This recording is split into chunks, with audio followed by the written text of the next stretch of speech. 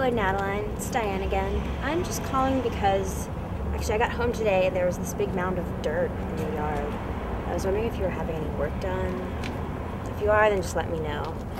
All right, I'll see you later.